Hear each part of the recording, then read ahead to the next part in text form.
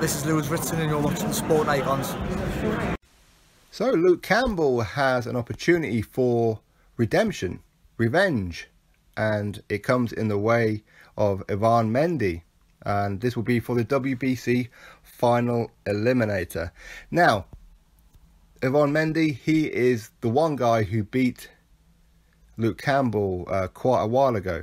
And it happened back in 2015 in December to be precise, where Luke Campbell lost by split decision. And of course, Luke Campbell has lost another fight since in Jorge Linares. Arguably, he won that fight, but whatever that may be. But against Yvan Mendy, this is a good opportunity to exact revenge and try and counteract one of those losses. So hopefully all going well. This is exactly what's going to happen. Of course, this will be at lightweight as well. So good luck to Luke Campbell for that one. Now, this is an interesting fight, no doubt about it, but Luke Campbell currently right now has 18 wins, 15 of those by knockout, two losses.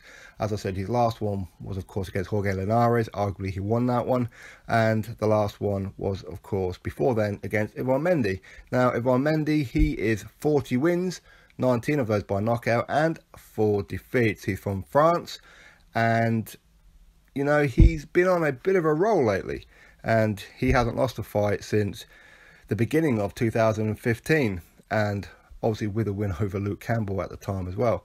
So this is going to be an interesting fight and one hell of a hard fight for Luke Campbell, but one that I'm confident in. I like Luke Campbell. I think he's got the gift.